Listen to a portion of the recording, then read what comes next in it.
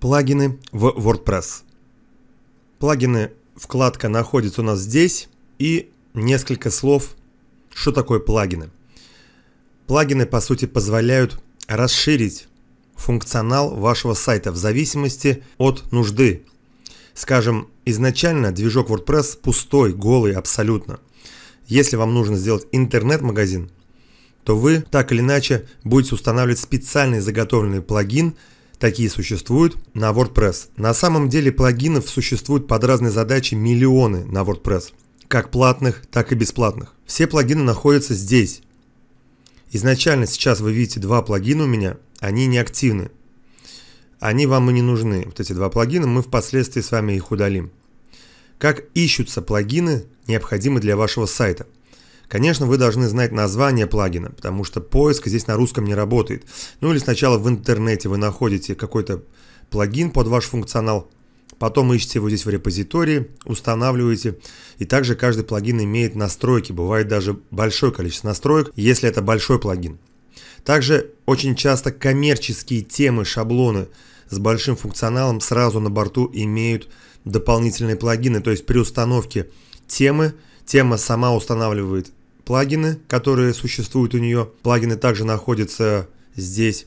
И виджеты, если такие существуют. Именно от самой темы. Мы нажимаем «Добавить новый». Сразу видим уже плагины какие-то нам здесь показываются. При выборе плагина, если вы сомневаетесь, на что нужно смотреть. Как часто разработчик следит за обновлениями. То есть вот здесь вот показано у каждого плагина, когда он был обновлен. Очень важно, совместим с вашей версией WordPress. То есть наша версия WordPress, вот здесь в правом нижнем углу, на момент записи видео 5.5.1, последняя версия. Соответственно, здесь стоят галочки, значит проблем не будет. Просто если вы по каким-то причинам WordPress не обновляете, а плагин не поддерживает вашу версию WordPress, могут быть конфликты. Также плагин нужно смотреть, нажимая детали вот здесь, у каждого плагина здесь есть такая ссылка. То есть есть установить, но перед установкой мы изучаем, смотрим на детали, Смотрим отзывы, оценки, насколько плагин хорош. Также плагин может поддерживать русский язык, а может и не поддерживать. Изменения, скриншоты, как выглядит плагин, это все мы смотрим.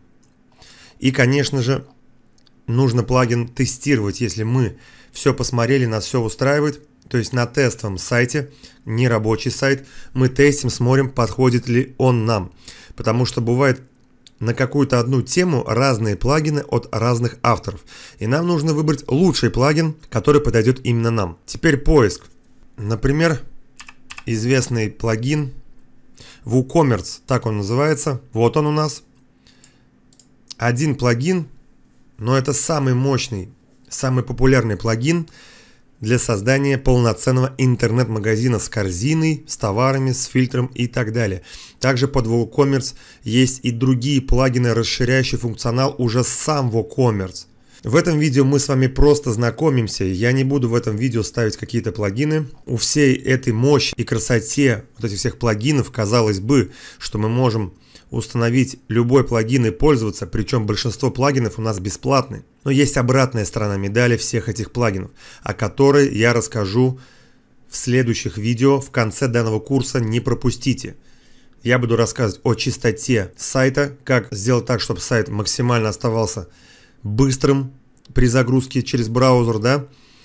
И там как раз я буду говорить о темах, о плагинах и покажу необходимы плагины, без которых, в принципе, нельзя сайт, так сказать, загружать в интернет. В идеале, вот сам WordPress, как он есть, его бы использовать вообще без плагинов, ничего не устанавливая, чтобы сохранить чистоту и быструю загрузку страниц. Но, к сожалению, у нас не получится это сделать. Так или иначе, мы будем прибегать к сторонним плагинам. Что за обратная сторона медали, более подробно я расскажу. Также, используя какой-то плагин, а потом а, получилось так, что он вам не нужен, вы всегда сможете его удалить. Вот здесь у меня ссылка удалить. Теперь вы знаете, что такое плагины, их значение. Обязательно досмотрите курс до конца, чтобы полностью понимать и как нужно относиться к плагинам на WordPress. Ставить только самое необходимое, ни в коем случае не нагромождать плагинами сайт. Но, как я уже и сказал ранее, я более детально расскажу и покажу полезные плагины, необходимые для любого сайта. Я вас жду в следующем видео.